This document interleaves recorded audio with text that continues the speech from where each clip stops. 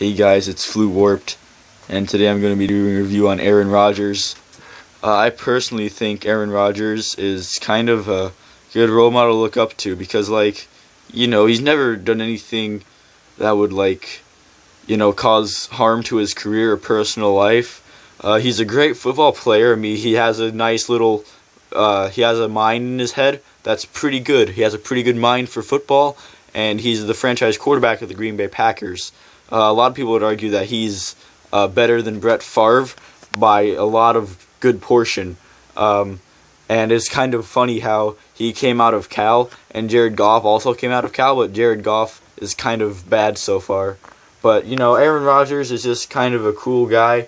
Uh, you just look at his face here. You can see he's all focused, and uh, you can just really tell that he's really excited to play football.